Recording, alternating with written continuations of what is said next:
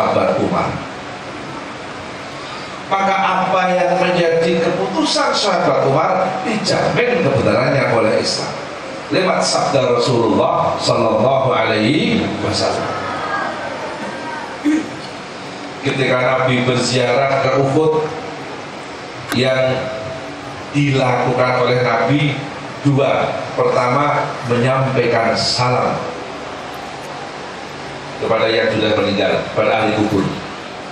Selesai menyampaikan salam, Nabi mendoakan ahli kubur. Contoh salam Nabi, Assalamualaikum ya ahlal kubur minal muslimin wal muslimat antum lana salafun wa nahnu lakum tubba'un wa inna insyaallah bikum lahiqun biasakan ketika kita berziarah sampaikan salam. Dulu ini perilaku Rasulullah Sallallahu Alaihi Wasallam. Selesai Rasulullah menyampaikan salam. Ketika orang berziarah menyampaikan salam kepada ahli kubur maka salam para peziarah didengar oleh ahli kubur. Ahli kubur dengar selesai dengan jawab salam. Suara jawaban salam ahli kubur semua makhluk yang ada di sekitar kuburan semua bisa mendengarkan bisa dengar suaranya kecuali jin dan manusia. Oleh Allah dibikin tidak mendengar. Sebagai ujian buat kita. Sejauh mana ketebalan iman kita? Maaf maka ketika Bapak berziarah kemudian Bapak menyampaikan salam. Di dekat Bapak di kubur kebetulan ada hewan. Apa itu? Ayam, kerbau, sapi. Itu dengar suara ahli kubur itu keyakinan kita. Ahlus sunnah wal sama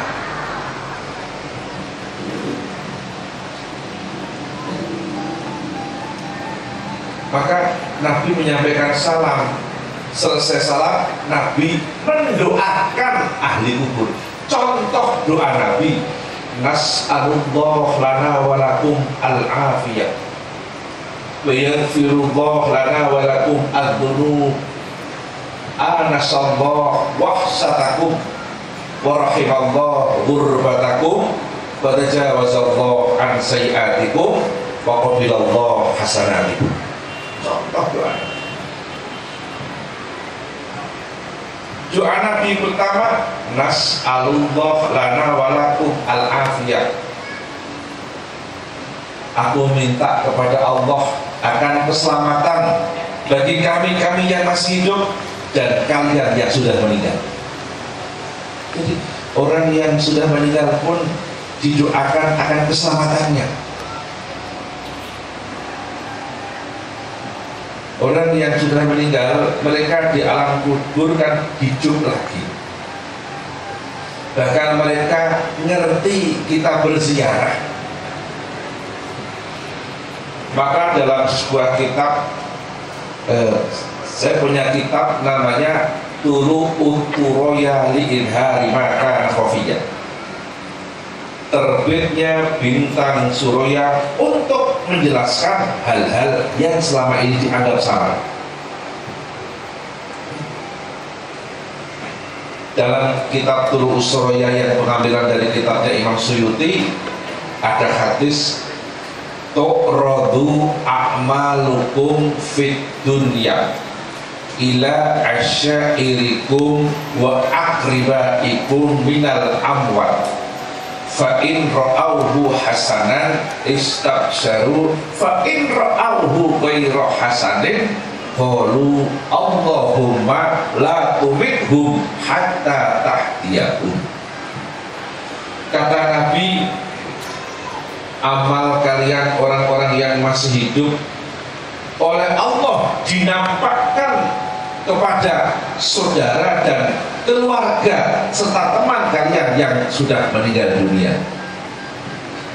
Allah yarham ayah Ali ini ngerti kita semuanya berkumpul semuanya tahu ngerti ayah Ali kata Nabi ketika yang sudah meninggal dunia melihat amal yang masih hidup kok kelihatan bagus. Fa in ra'auhu hasanan istabsaru ayah Ali di alam kubur di alam kubur bergembira. Senang melihat kita berkumpul kita berziarah. Tapi ketika ada orang di alam kubur melihat yang masih hidup amalnya tidak baik mereka susah di alam kubur. Fa in ra'auhu ghairu hasanin qalu Allahumma la tubidhum hatta tahyahu kalau ada orang yang sudah meninggal melihat amal yang masih hidup kok nggak bagus dia nggak mau ke masjid, nggak pernah jamaah, nggak ikut tarekat, nggak pernah wirid, nggak baca al-bazaji. Mereka di alam kubur susah. Di tengah-tengah kesusahan masih sempat mendoakan yang masih hidup. Allahumma la tumithum hatta tahtiyahum. Ya Allah, saudara-saudaraku yang masih hidup yang belum rajin ibadahnya yang masih seenaknya saja ya Allah. Jangan kau ambil nyawanya dulu ya Allah sebelum dapat petunjuk dari engkau wahai Allah. Orang yang sudah meninggal saja masih sempat mendoakan yang masih hidup kok. Kita yang hidup kadang-kadang nggak mau mendoakan yang meninggal coba. Itu. Jadi orang yang sudah meninggal ini ada kepedulian kepada yang masih hidup. Apalagi kalau yang di alam kubur orang-orang soleh. Mereka walaupun di alam kubur lebih peduli daripada kita yang masih hidup. Maka Sayyid Abdullah Al-Haddad sahibu Radibil Haddad menyatakan ihtimamul amwati lil ahya'i asyaddu min ihtimamil ahya'i lil amwati.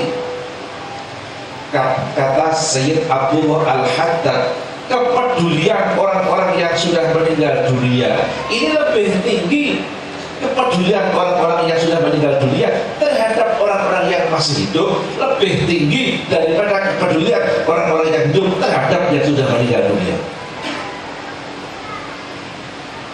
Ini keyakinan kita ahlus sunnah wal jamaah yang sekarang sudah mulai dirobek-robek oleh paham lain. Maka kalau kita ke makam orang-orang soleh biasakan kita bertawasul. Maka sebelum saya melanjutkan uh, apa uh, ceramah pagi ini mari kita bertawasul dulu pada ayah. Ini ayah ini orang soleh. Kemarin uh, Ustadz Abdul Hamid ketika saya dampingi ceramah di Pulau mana yang pagi. Di Pemenis beliau cerita memang ayah ini tidak kelihatan khorikul adahnya. Tidak kelihatan karomahnya tapi yang kelihatan istiqomah. Justru istiqomah itu di atas karomah. Kalau Ki Abdul mengatakan ayah kurang kelihatan amrun khariqul adanya tapi kelihatannya istiqomah. Yang kelihatan istiqomah justru istiqomah di atas karomah. Ketika saya kecil orang tua saya kasih pendidikan nama saya la tatlubul karomah. Balik lubul istiqomah. Limada? Li'anna istiqomah khairun min alfi karomah. Kalian jangan cari keramat jadilah istiqomah. Kenapa? sebab satu istiqomah itu melebihi dari seribu keramat. Kadang-kadang kita terbujuk mau cari keramat, kira-kira kita lempar jadi agek maunya kayak gitu. Itu kalah dengan istiqomah. Ayah istiqomah ngajar, betul? Istiqomah baca wirid. Muridnya segini banyak, pesantrennya, maka ini tanda-tanda kewalian ayah maka Imam Syafi'i menyatakan laulal alim yu'allimul ilma falaysa lillahi waliyun kata Imam Syafi'i Andaikan tidak ada orang-orang alim yang mengajarkan ilmunya di tengah-tengah masyarakat, maka Allah tidak punya wali. Artinya, para mu'alim, para ulama yang mengajarkan ilmunya baik ilmu syariat, pesantren atau ilmu tarekat itu sekaligus wali-walinya Allah. Maka saya mengikuti guru saya Kiai Haji Makrus Ali Lirboyo Kediri. Ketika saya sowan Kiai Makrus saya alumni pesantren Lirboyo Kiai Makrus bilang kamu kalau ke makam orang-orang soleh jangan lupa tawasul Kiai Makrus ini kamu catat tawasul metode yang aku dapatkan dari guru saya Ki Haji Dalhar bin Abdurrahman waktu Congol Muntilan Magelang kata Kiai Makrus kalau Bapak mau mencatat silakan akan saya baca pelan-pelan. Ini doa tawasul saya dari guru saya Ki Haji Makrus Ali Lirboyo Kediri Ki dari gurunya Ki yaitu Waliullah Al-Arif Billah Ki Haji Dalhar bin Abdurrahman waktu Jongol Mundilan Magelang. Gurunya Buya Diryati Banten. Silahkan anda catat akan saya baca pelan-pelan atau bisa direkam pakai HP kalau kita di makamnya ayat tawasulnya kayak gini. Ayo tirukan Bismillahirrahmanirrahim Ya sahibah Hadihil Makbarati Asyikh Ali bin Abdul Wahab Ini Atawassalu Bika Ilallahi Ta'ala Fi kodoi hajati terus sebut hajatnya kepentingannya. Kalau ketua DPR hajatnya gimana supaya PAD meningkat gitu. APBD nya naik bisa. Bisa tawasul di sini bisa. Yuk sekarang kita praktek tawasul sama-sama. Nanti sampai figur hajati kita berhenti silakan Bapak membatin apa yang dihajatkan Bapak Bismillahirrahmanirrahim.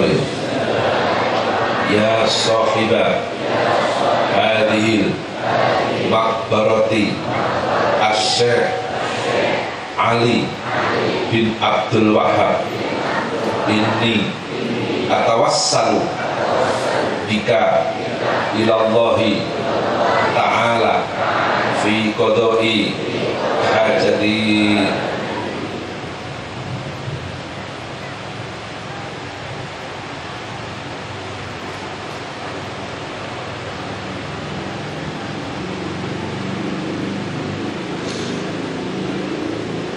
Al-Fatihah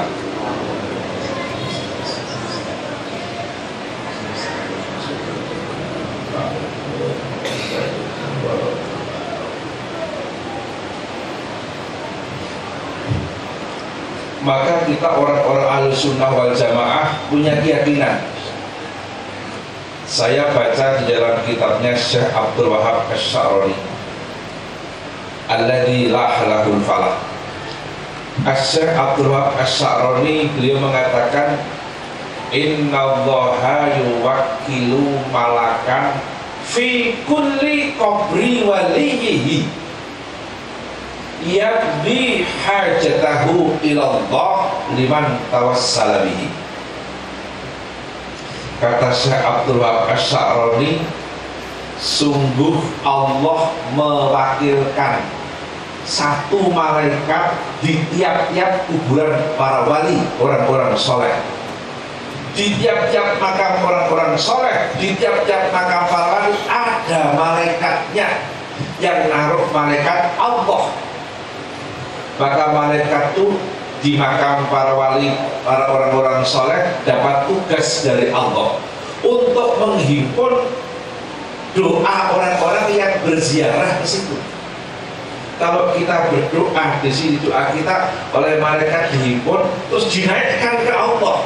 Cepat sampai kepada Allah maka kalau Bapak punya keinginan, punya cita-cita, punya obsesi, punya aspirasi, kok belum tercapai, jangan berkecil hati. Bacalah keinginannya, bacalah cita-citanya, bacalah aspirasinya di makam orang-orang soleh. Maka sesungguhnya makam orang-orang soleh adalah rumah aspirasi. Mintanya tetap kepada Allah penyebutan permintaan di makam orang-orang soleh biasakan begitu. Maka makam wali songo setiap hari itu ribuan para peziarah. Ada malaikatnya. Kan kalau bapak berdoa di rumah bapak kan nggak ada malaikatnya. Ya ada tapi rokib atid itu kan pengintai gitu.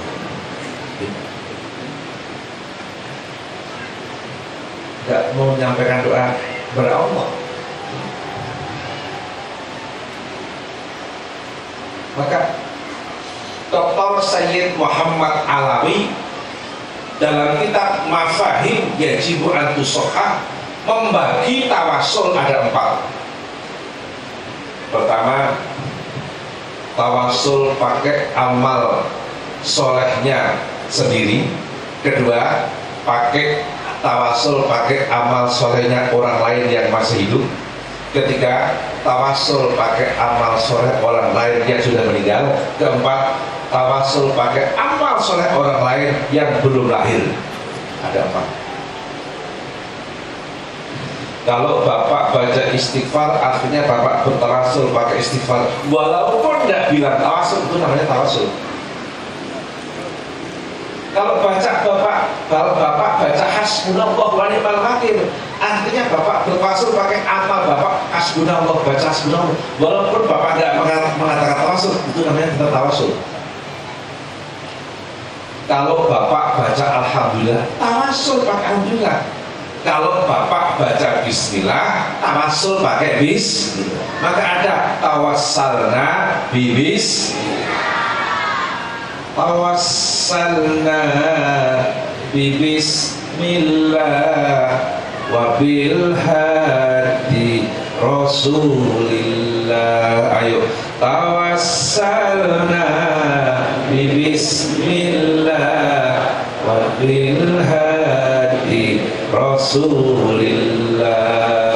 Wa kulli mujahidin lillah bi ahlil ya Allah ayo salatullah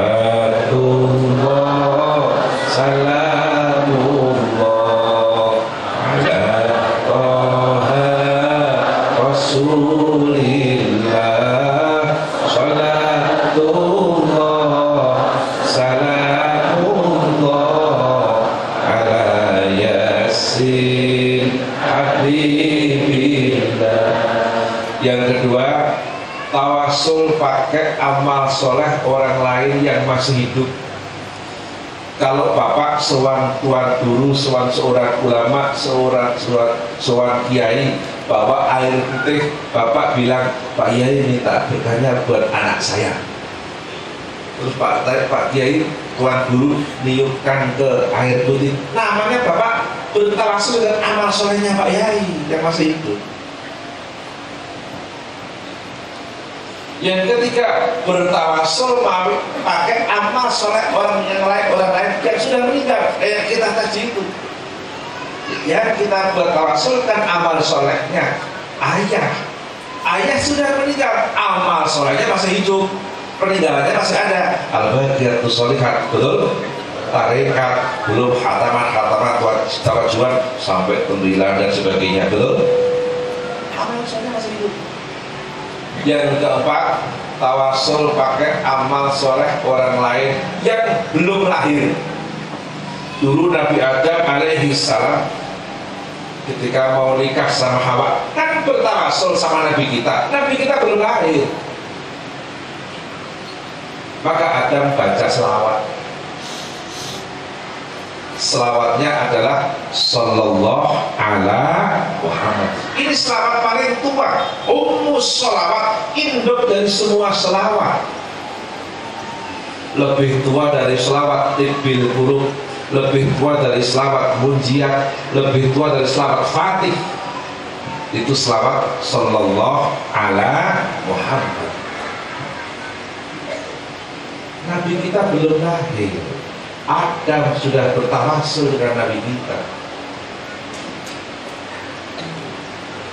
Belum lahir maka sebenarnya ketika Allah memerintahkan para malaikat untuk bersujud kepada Nabi Adam itu hakikatnya sujudnya bukan kepada Adam Pak. Akan tetapi kepada Nur Muhammad yang ada dalam diri Nabi Adam alaihis bukan kepada Adam kepada Nur Muhammad